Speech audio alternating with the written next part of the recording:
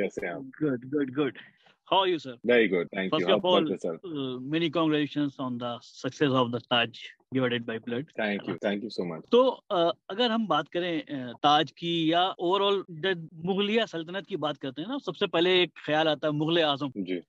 तो जब आपको ये ऑफ़र किया गया था हम्म। तो क्या था? एक प्रेशर था या मुगल आज़म देखी कई बार करेक्टर में जाने के लिए? क्योंकि आपका करेक्टर तो दिलीप साहब ने किया। जी मतलब ये तो मतलब अपने आप में एक बहुत बड़ी बात है कि दिलीप साहब से आपका आपने नाम ही उनका ले लिया है शुरुआत में क्योंकि उनके हिसाब से अगर मतलब हम देखा जाए तो मुगल आज़म के बारे में जब सोचते हैं तो वो तो एक अलग ही एरा था वो एक अलग ही दुनिया थी। ऑफ़ कोर्स कैरेक्टर्स काफ़ी काफ़ी सेम थे बट बट हमारा शो उससे बहुत अलग है।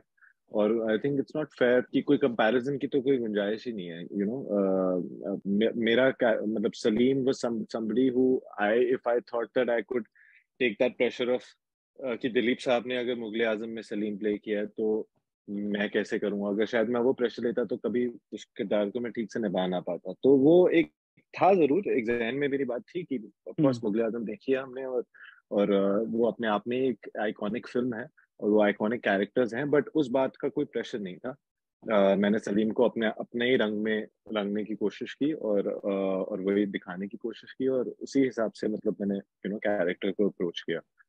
So yes it's been a it's been a fantastic journey as as uh, uh, uh, to play Sareem but uh, Mughle Azam से इसका कुछ uh, वो नहीं हाँ डेफिनेटली हाँ अगेन लेकिन नसीर साहब तो सामने थे नसीर साहब सामने कितना सीखा उनसे इस पूरे मामले में बहुत कुछ आई मीन वो he is an institution in himself उनके साथ काम करके ही मजा आ जाता है आपने तो हालांकि मेरे मेरा पहली बार था उनके साथ काम करना but just the way he conducts himself just the way he he is on set he still like a like a young actor who's constantly like working on his lines he always wants Right. to rehearse so there's a lot to learn and and uh you know just just gauging and what he's doing how he's doing his reactions his hand gestures everything So we had a lot of a lot of chats a lot of conversations and उसी से आप इतना सीख जाते हैं तो uh, मतलब उनके साथ तो जितना टाइम बिताया उतना ही कम है you know I would love to spend more time but uh, but yeah it's been cherished and I've I'm really happy that I got to spend so much time on and off screen with him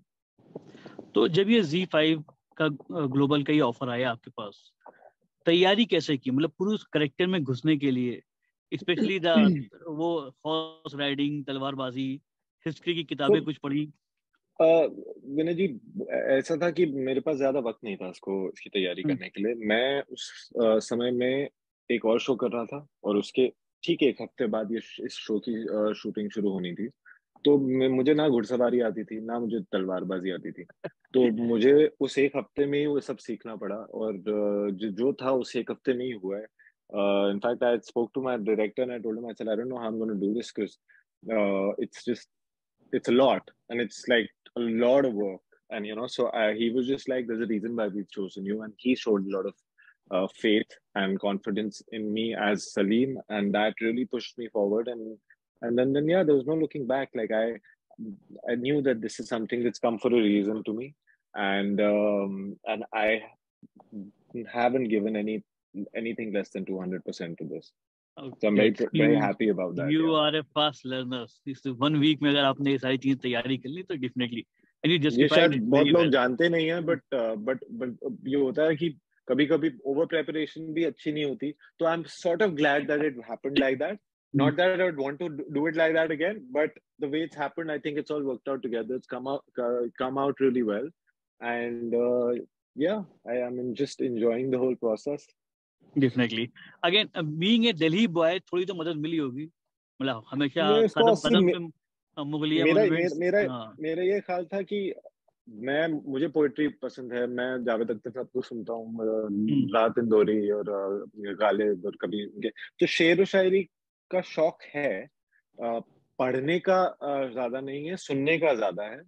तो उससे of course मेरी language मेरे उर्दू में थोड़ा सा आया फ़र्क पड़ा और वो थोड़ी मदद थी। बट बट अगेन अब इससे मुझे फिर से प्यार हो गया उर्दू लैंग्वेज से। I would love now I am looking for teachers to actually to you know like to अपनी उर्दू साफ़ करने के लिए और उसको और बेहतर बनाने के लिए। तो या it was it was a good good experience अच्छा अगर हम अशीम गुलाटी की बात करें तो आपने बहुत थोड़े टाइम में फ़िल्में भी की टीवी भी की सोप ओपेरा भी किए सीरीज़ भी की इवन की टर्की सीरीज़ भी की। काश बहुत थोड़े टाइम में किया होता। काश। अगेन ये ये नहीं यार मैं कंपैरिजन तो है ही नहीं। मेरी रेस में सिर्फ़ मैं ही भाग रहा हूँ और हाँ. मेरी रेस काफ़ी लंबी रही है और अभी बहुत आगे जाना है। बट देखा जाए तो बारह साल हो गए मुझे मुंबई में और और, और मतलब बारह साल में अगर मेरे नज़रिए से देखा जाए तो अभी कुछ भी नहीं किया। आ, बहुत कुछ करना है। बट मैं हर एक उस पल का शुक्रगुजार हूँ जहाँ मुझे अपॉर्चुनिटी दी गई है जिस शहर में मैं हूँ कि कि मुझे जो भी काम मैंने किया है वो काम करने का मौका दिया गया है और उसके लिए मैं मैं हमेशा I be very grateful so it's been it's not been a small journey it's been a long journey but it's been a fruitful one till now because सिर्फ़ सीखने को मिला है। तो सबसे ज़्यादा एंजॉय किस प्लेटफॉर्म पे किया? Z5 ग्लोबल के ताज नहीं किया।